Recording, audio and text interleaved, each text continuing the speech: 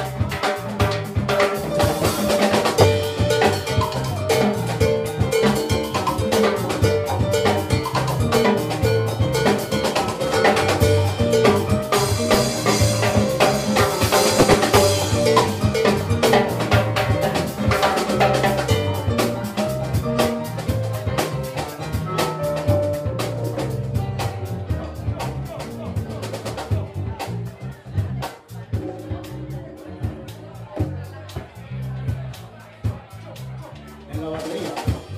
En el drums, Mr.